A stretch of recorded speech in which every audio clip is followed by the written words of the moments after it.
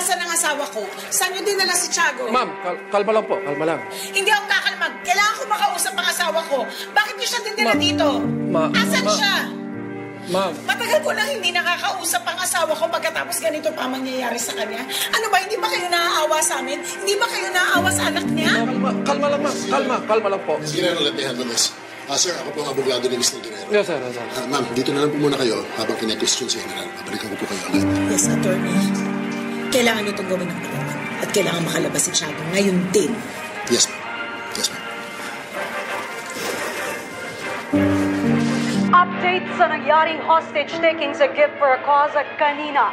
Merong unconfirmed reports na kasama ang sinasabing main suspect ng pagpapasabog sa Capital Mall na walang iba kundi si Rian Bonifacio. Ayon nga sa aming mga sources, isa siya sa mga nasaktan sa nangyaring gulo. Ma, dahil po ba ito kay ate?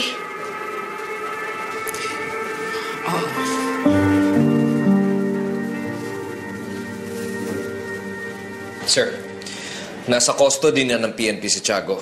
Pero dahil sa hawak nating kaso sa kanya, nakipag-coordinate na tayo sa mga hepe para pwede natin siya questionin.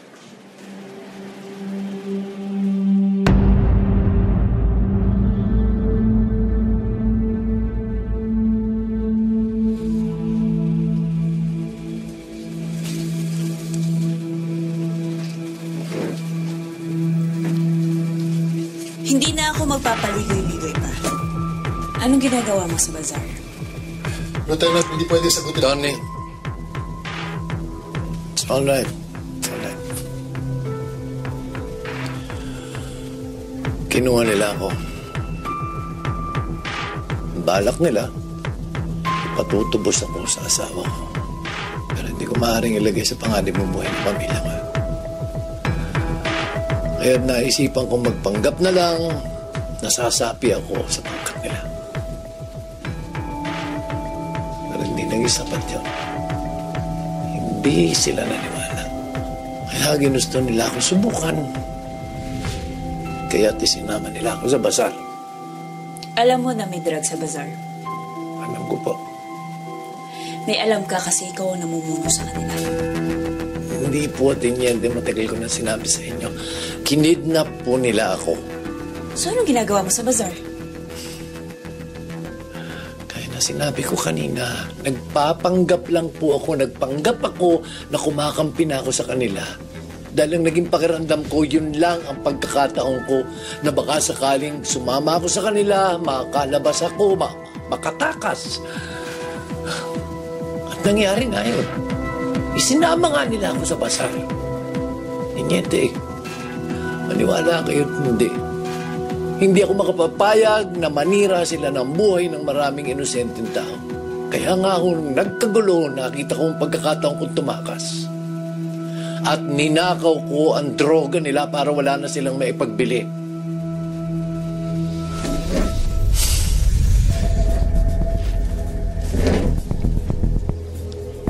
Sino ang kumuha sa'yo?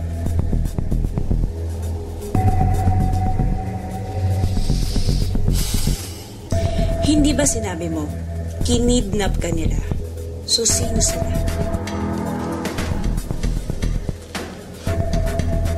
Kung sasabihin ko sa'yo din yan, mapoprotektahan na ba ako?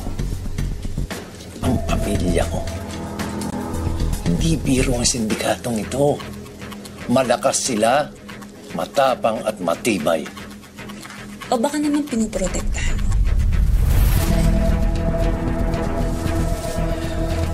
mo? Tiniente, tiniente, hindi ako pe pwedeng sumugal.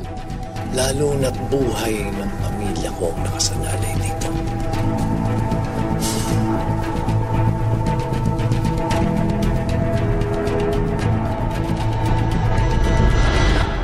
naniniwala ba kayo na si Tiago yung kausap natin?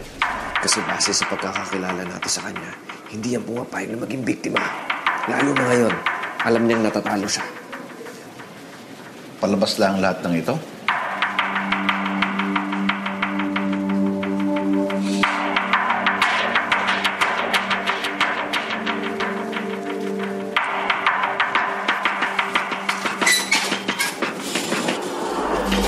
Magpapiansa ako, Tony. Kahit na magkano.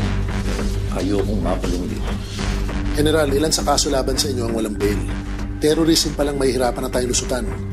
At ah, meron pong military intelligence report laban sa inyo na nagsasabing may strong evidence of guilt ang kaso. Baka kailangan hintayin po natin ang desisyon ng korte bago kayo makalabas. Tol, hindi pa ako nahusgahan. May sayang naman na ipinabahid ko sa'yo. Asan ang pinagmamalaki mong galing mo? Sige po, sir. Gagawin ko po ang lahat para makalabas po kayo kagad dito. Hahanapin po natin lahat ng posibleng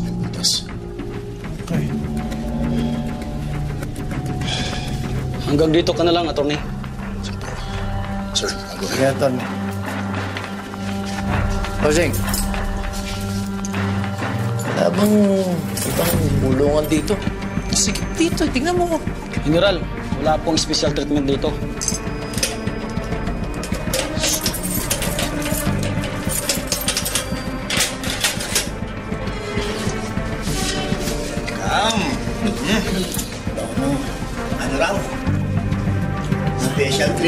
Hindi niya sabuhin patulugin. Ano? Kasi mayaman, tol. Wow.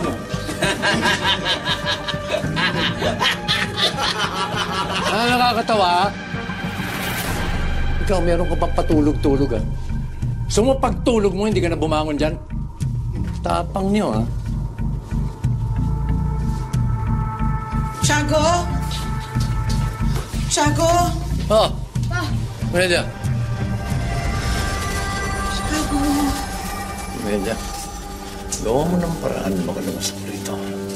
Nakita mo yung tsura namin, no? Para kami mga sardinas na sinaksak sa lata. Gagawin ko ang lahat para makalabas ka. Dapat lang. Pero sa ngayon, kailangan umarte muna tayo na tayo ang biktima. Kailangan mapapaniwala mo sila sa lahat na sasabihin ko. Santi, ikaw na muna ang bahala kay mama mo. Ka na anak. Makakalabas ni si Papa dito. Opo pa. Huwag po kayo mag-alala. Ako pong bahala kay Mama. Sige namin, bumili na kayo.